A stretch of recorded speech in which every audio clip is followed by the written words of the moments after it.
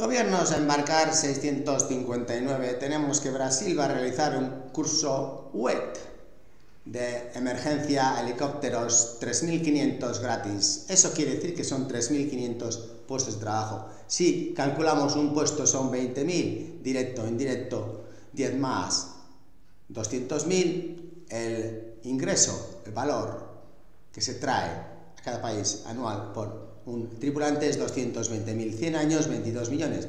Calculen los 4 millones de parados también, por ejemplo, si tenemos ahora mismo el curso que va a ser obligatorio en las compañías tankers, el betting, que es las inspecciones que les hacen las que fletan las grandes compañías de petróleo, serían 4.160 buques, hay que hacerles el curso de polución y de safety at sea, seguridad en la mar. Imaginen si reciben 4 millones de parados estos cursos y de repente tenemos 22 millones por cada uno, multipliquen, yo ya con los ceros me pierdo, pero sería importante que se embarquen los gobiernos de Perú, Panamá, Venezuela.